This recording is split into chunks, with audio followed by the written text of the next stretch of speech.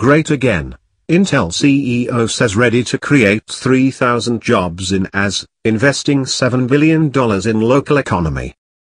The chips will be produced there will be the most powerful computer chips on the planet, Krzanich said in the Oval Office with the Trump administration. Most Intel manufacturing happens in the US. Krzanich said. Those preparations have already begun, according to Russian ministers. Intel chief executive Brian Krzanich met with President Donald Trump on Wednesday, where the company announced IT will invest $7 billion in a factory employing up to 3,000 people. The factory will be in Arizona, the company said, and over 10,000 people in the Arizona area will support the factory.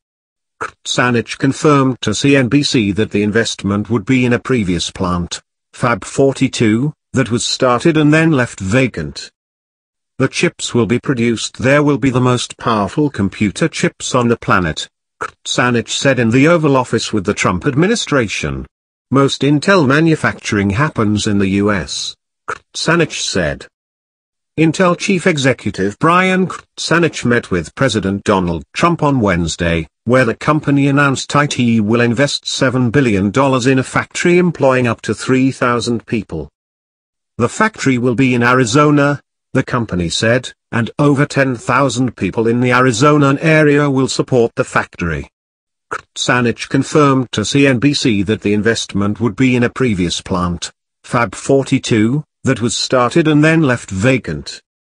The chips will be produced there will be the most powerful computer chips on the planet, Krzanich said in the Oval Office with the Trump administration. Most Intel manufacturing happens in the US, Krzanich said. IT comes as the technology industry has pushed back against the Trump administration, amid mounting pressure to move manufacturing jobs back to the US. Intel was one of more than 100 companies that joined together to file a legal brief opposing Trump's temporary travel ban on people from seven Muslim-majority nations. The White House had said earlier that Vice President Mike Pence would speak on Wednesday with Tesla and SpaceX CEO Elon Musk, a member of Trump's Business Advisory Council, whose companies had also signed on to the brief. Intel has been criticized in conservative publications such as Breitbart, for laying off thousands of staffers, despite an influx of visa requests.